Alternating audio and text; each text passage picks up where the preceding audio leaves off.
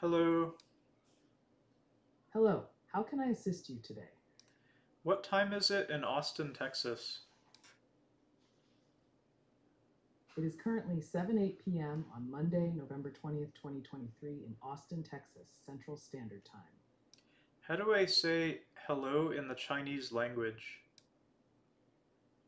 In Mandarin Chinese, you can say ni hao to say hello. Tell me a dad joke.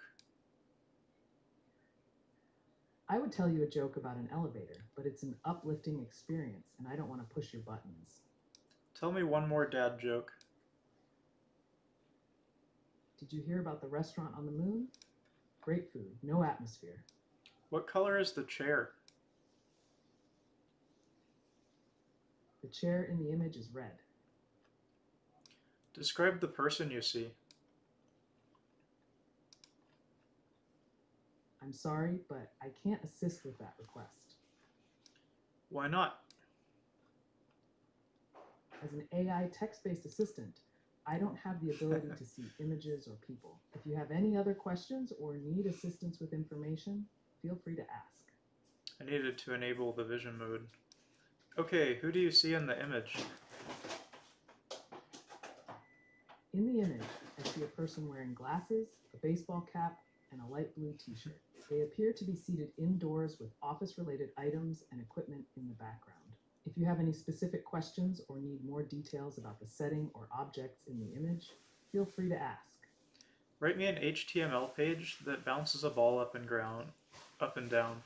Make the ball red and make the page blue.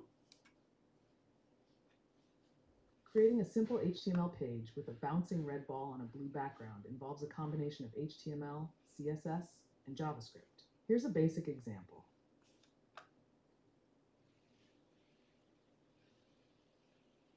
Yeah. Bouncy. Okay, let's do a more more exciting one. Let's open up MS Paint.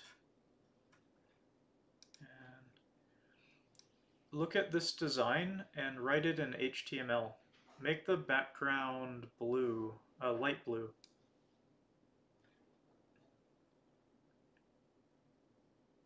Based on the design you've provided, here's an HTML structure that represents the layout. I've added light blue as the background color and structured the HTML to match the sections you've shown in the image. Please note that for a fully functional website, additional CSS and possibly JavaScript would be needed.